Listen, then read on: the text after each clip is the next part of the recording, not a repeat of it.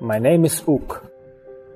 I'm 20 years old and I had the bad fortune to live isolated for seven years because of blood feud and because the society I live in still relies on Kanun. When you live inside four walls, every day feels the same. I don't know how long has it been that I have been doing this life. Actually, I do know, but I just don't want to think about that anymore. Feels like I'm living in a nightmare that is never ending. I'm suffocating. Probably I have forgotten what my town looks like. This apartment is my prison, and the judge that put me behind bars was my own father. Having tasted freedom as a child provided me with memories with which I have kept my hopes up. That maybe one day I will be able to run free again, like I used to. I was only 13 years old when everything happened. A child who did not even care about the problems that my family had with this other man for cases of property. This problem had been going on for generations and was already part of our life.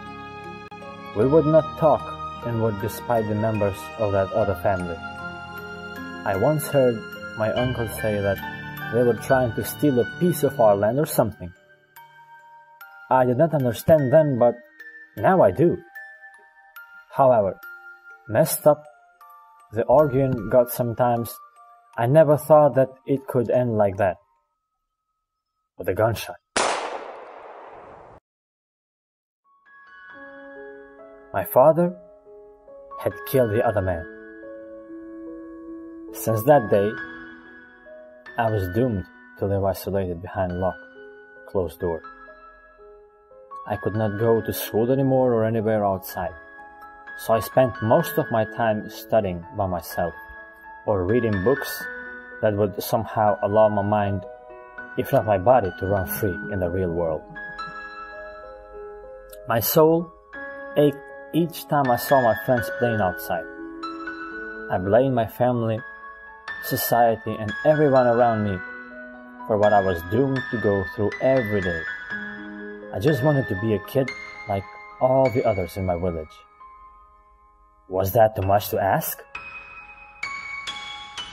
Meanwhile, I will keep writing in my dear diaries. I call them dear because I found consolation by writing in them. I know the majority of writings in them are sad things and sometimes I would like to throw them all in flames. But I won't. Because one day when I will be free, I want to share my story.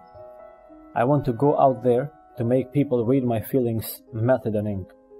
And maybe, just maybe, they will understand what growing under the shadow of death means for their children.